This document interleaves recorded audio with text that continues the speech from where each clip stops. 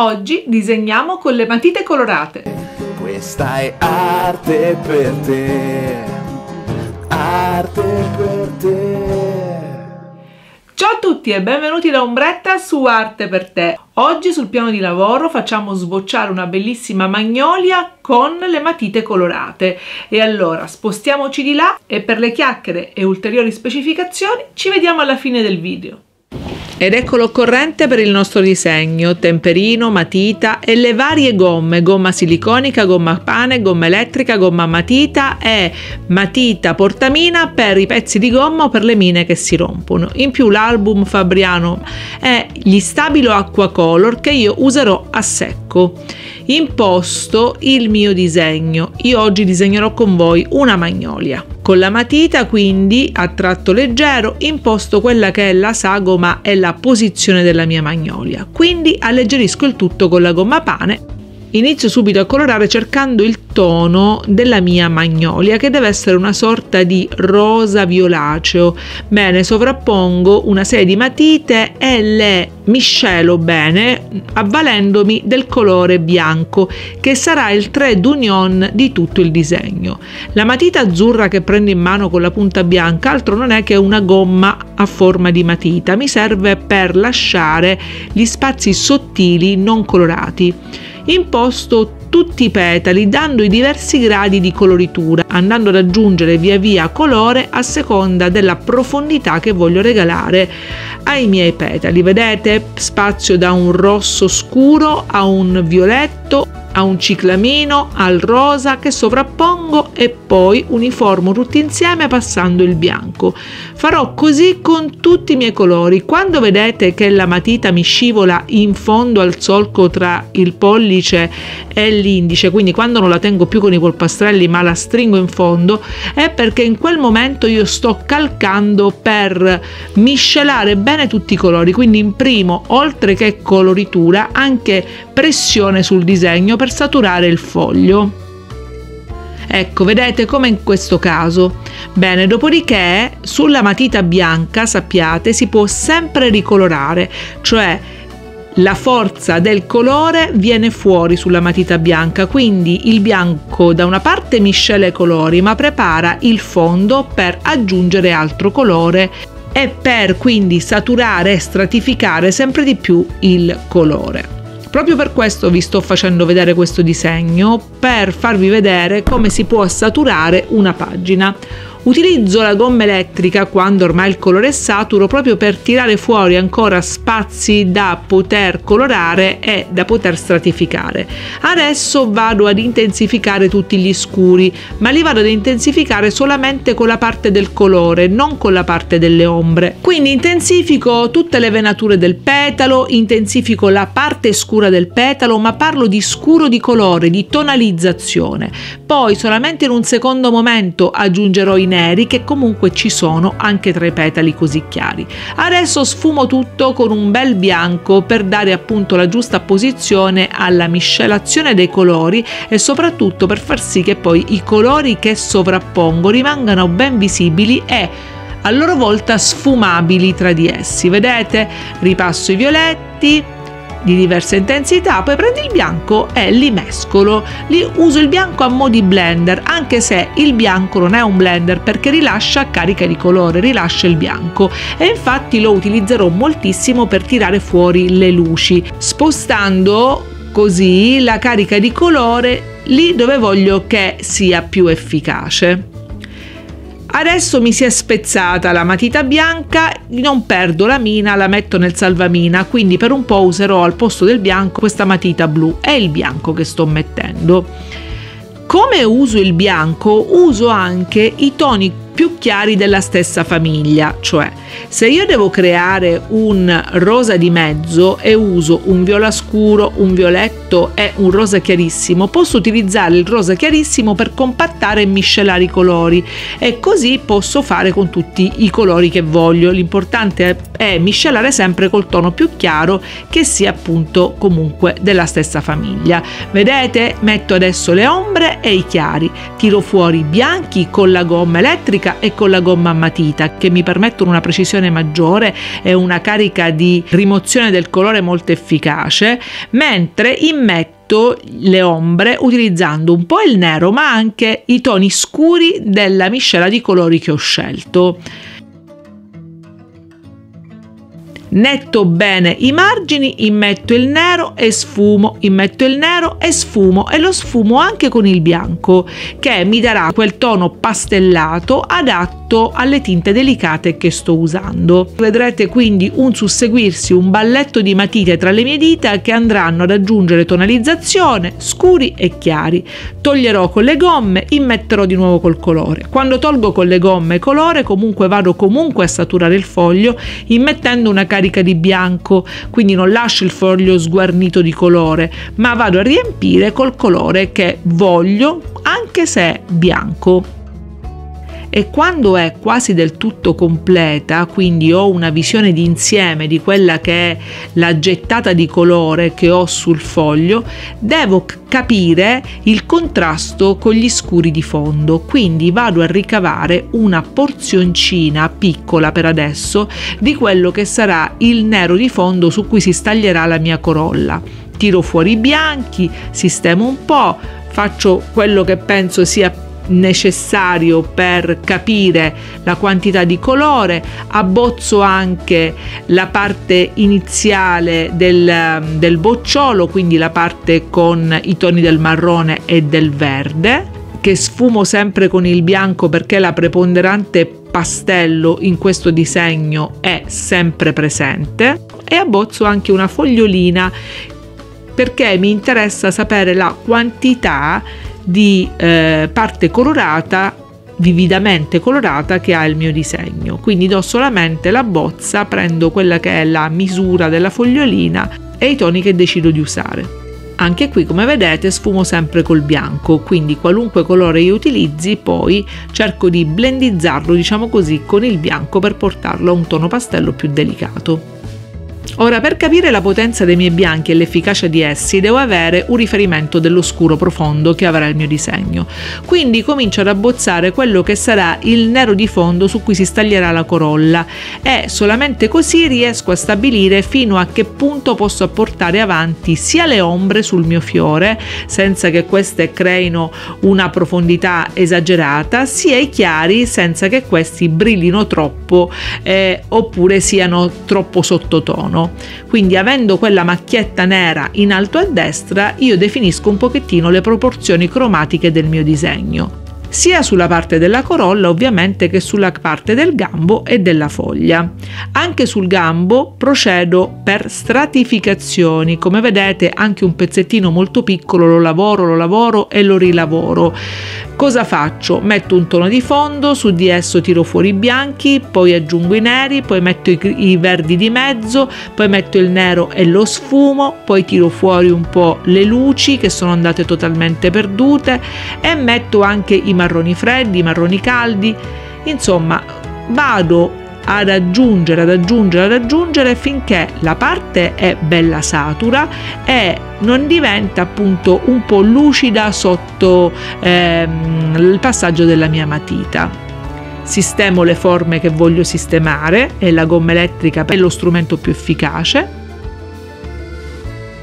abbozzo i rimanenti ramoscelli che poi dovrò colorare come abbiamo visto colorare quello centrale quindi partendo da un tono di fondo omogeneo e leggero poi vado a stratificare le diverse gradazioni del marrone e lascio per adesso perché mi dedico al fondo parto da un marrone freddo perché voglio un nero in movimento, quindi non un nero piatto. Passo al nero, mi si era spezzata la punta e l'ho messa nel portamine e poi saturo e uniformo i colori, miscelo più che altro i colori con il bianco.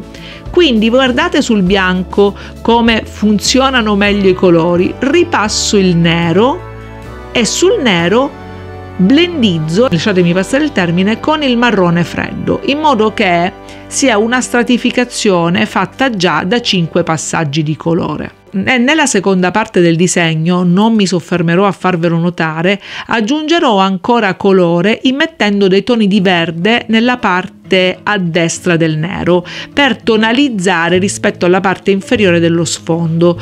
Aggiungo anche del grigio prendo del turchese e poi passo il bianco e il bianco lo porto anche sulla parte nera e il nero di sopra lo tiro giù sulla parte verde in modo da creare quel passaggio graduale da sopra a sotto e da sotto a sopra che non dia un confine certo al mio disegno.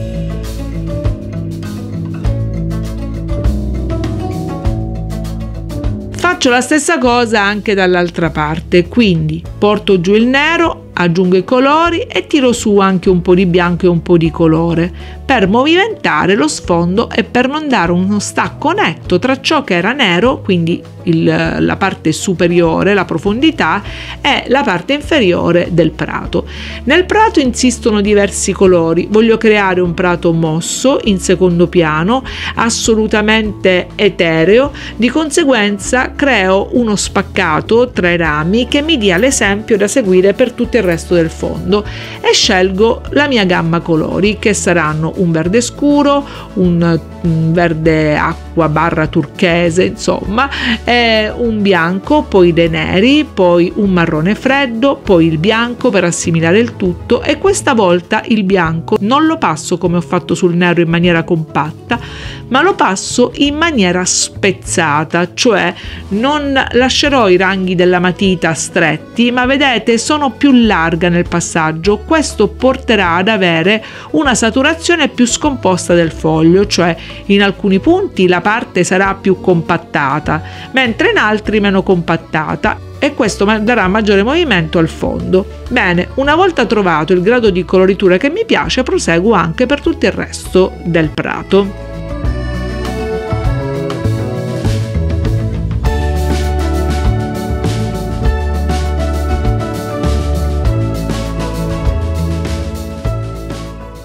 Una volta trovata la coloritura che mi piace per la parte inferiore dello sfondo, continuo anche su tutto il resto seguendo la stessa sequenza e lo stesso metodo di immissione del colore. Ovviamente se vorrò delle porzioni più scure aggiungerò ancora più nero, come per esempio a sinistra della magnolia, se vorrò rimanere più chiara nei toni rimarrò con una carica di nero inferiore.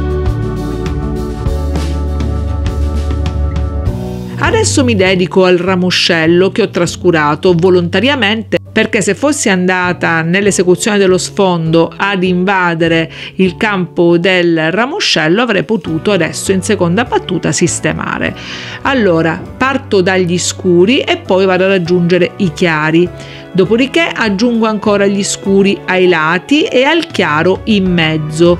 Gli scuri saranno nero, marrone freddo, un marrone caldo, il chiaro sarà sempre solitamente il bianco nelle zone in ombra e il bianco sporcato con un po' di giallo o verde acido nelle zone che sono baciate da un barlume di luce calda e nel frattempo vado a sistemare come vedete saltuariamente anche la corolla del fiore perché distaccando lo sguardo da quello che è il soggetto che state disegnando e poi riguardandolo ad occhio riposato su quel soggetto qualche minuto dopo vi accorgerete magari di cromie che non vi piacciono che non vi hanno convinto e potrete sistemarle in un secondo momento. Guardate il vostro disegno sempre con occhio critico e sempre come se lo guardaste con occhi nuovi quindi non pensiate mai che una parte sia finita finché non è finito tutto il disegno.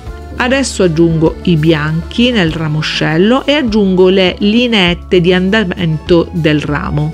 Do un'assestata al fondo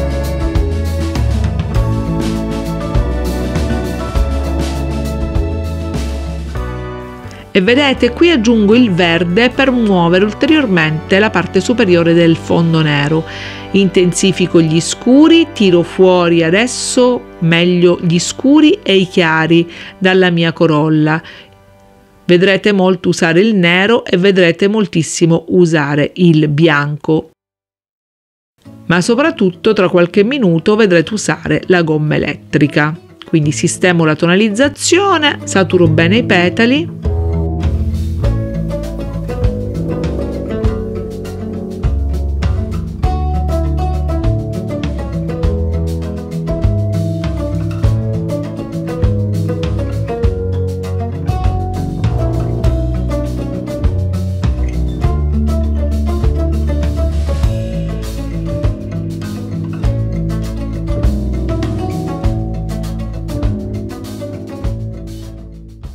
e adesso tiro fuori i bianchi dai petali. Quindi scurendo subito dopo le parti in luce amplificando col colore le parti in luce e tirando totalmente fuori la luce passando la gomma pane e poi ripassando il bianco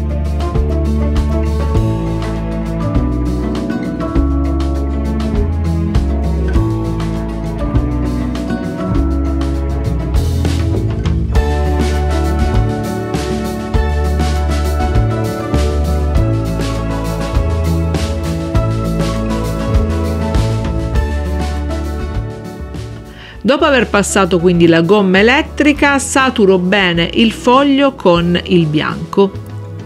Alla fine, dopo i bianchi, è finito il disegno, quindi il bianco assoluto è l'ultima cosa che dovrà insistere sul vostro disegno, dopodiché non maneggiatelo più. Firmatelo ovviamente fuori dalla composizione pittorica, in basso a destra, in maniera sobria e avrete finito.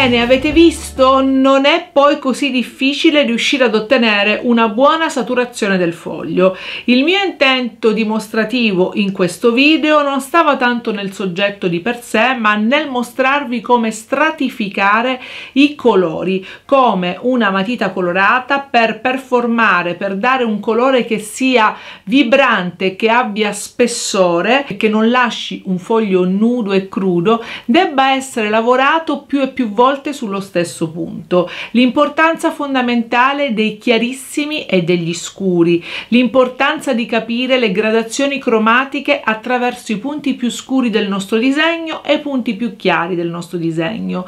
Oggi ho usato le matite della Stabilo Aqua Color, se ve lo state chiedendo, e le ho usate a secco secco quindi sono delle matite molto pastose morbide che saturano molto velocemente il foglio. Ho usato questo genere di matita proprio per dimostrarvi come una matita così ricca in pasta possa essere lavorata e rilavorata più e più volte. L'utilizzo del bianco. In molti da sempre si chiedono a cosa serva il bianco all'interno della scatola dei colori. Bene a questo serve a miscelare a far sì che le tinte si omogeneizzino tra loro, a dare un trade union e forza e vigore al colore, perché Passando tra un colore e l'altro uno strato di bianco, il colore successivo sarà vigoroso, potente, non miscelerà la sua potenza cromatica con il colore sottostante, ma avrà spazio per liberarsi in tutta la sua forza e in tutta la sua sostanza cromatica.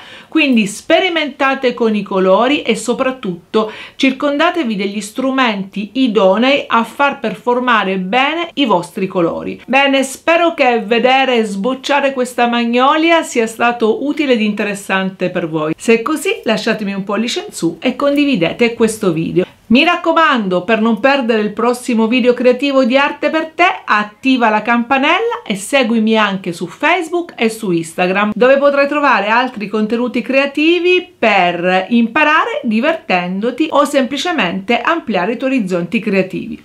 Da Ombretta e da Arte per te è tutto, ci vediamo la prossima volta. Ciao!